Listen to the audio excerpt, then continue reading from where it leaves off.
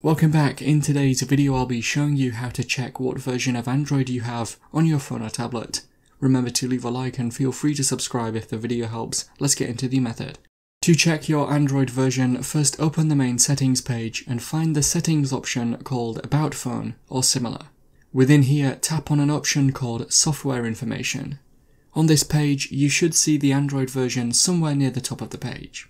And so that is how to check what version of Android you have on your phone or tablet. Click or tap the card on screen now to watch a video of mine showing you 10 easy ways you can speed up your Android phone.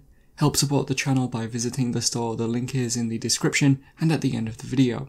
If you have any questions, then let me know in the comments below, and if you did find today's video helpful, remember to leave a like, and feel free to subscribe for more tips in the future. Be sure to stick around to see some of my other videos that you might be interested in. Thanks so much for watching and I will see you in another video.